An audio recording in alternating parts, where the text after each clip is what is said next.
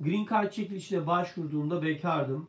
Şimdi evlendim. Mayıs ayında Green Card çekiliş sonuçları açıklandığında kazanırsam DS-260 formunda eşimi göstersem bu bana mülakatta sorun çıkarır mı diye takipçimiz soruyor.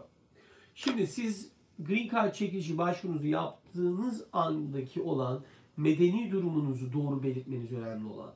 Dolayısıyla siz başvuruyu yaptığınız zaman aslında bekardınız, evli değildiniz. Ve dolayısıyla siz bu soruyu doğru bir şekilde cevaplamış durumdasınız. Ama çekilişten sonraki olan süreçte evlenmiş durumdasınız. Dolayısıyla DS 260 formunu doldurduğunuzda bu sefer eşinizden bahsetmek zorundasınız. Ve bundan bahsettiğiniz için hem siz hem de eşiniz yeşil kartı alıyor olacaksınız. Yani bu size sorun teşkil eden bir durum olmayacak. Tam tersi eşinizin de sizle beraber yeşil kartı almasına imkan sağlayacaktır diyebiliriz.